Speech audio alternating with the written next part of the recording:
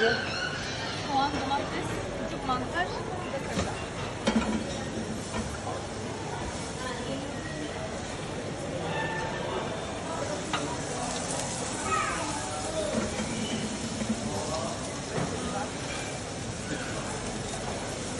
Teşekkürler.